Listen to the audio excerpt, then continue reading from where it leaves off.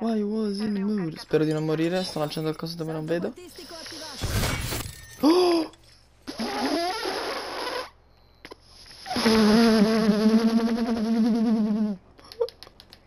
Andiamo da questo.